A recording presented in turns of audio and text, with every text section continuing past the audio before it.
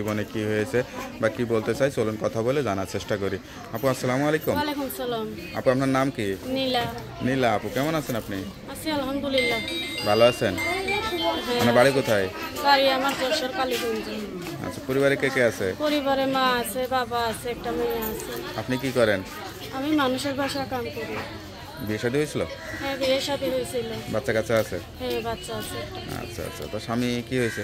স্বামী রিক্সা চালাইতো মারা গেছে। এর আগেও একটা প্রতিবেদন আমি করছিলাম কিন্তু মনের মতন মানুষ পাইনি আচ্ছা আচ্ছা। তো এখন কি চিন্তা করে আসছেন? এখন আসছি যদি ভালো একটা মনের মতন মানুষ পাই আমার বাচ্চাটার একটু খেয়াল রাখে লেখাপড়া করাইতে পারি।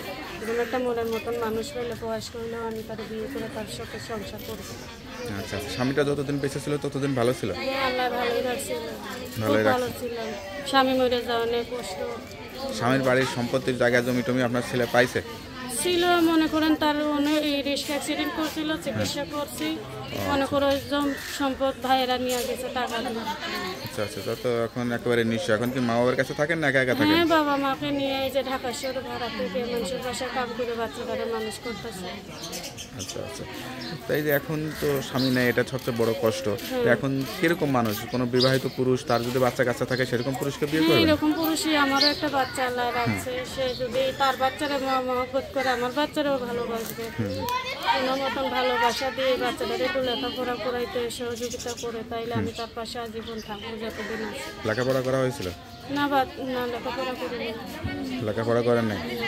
আচ্ছা আচ্ছা। তা আপনার সঙ্গে কীভাবে যোগাযোগ করবে? যে ভাই ফোন নাম্বার আছে। নাম্বারটা মুখস্থ আছে? না ভাই আপনাকে বলে নাম্বারটা আমার কাছে দেন আমি দেখে বলে দিতেছি। হ্যালো বিয়া শুনতে পারলেন এক অসহায় গরিব ঘরের মেয়ের জীবনের গল্প। আসলে বিয়ে হয়েছিল একটি সন্তান আছে খুবই কষ্টের জীবন।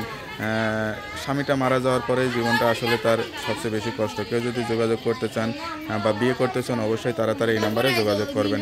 তার নাম্বারটি হচ্ছে zero one seven nine double seven three six five seven three. নাম্বারটা খোলা থাকে তো?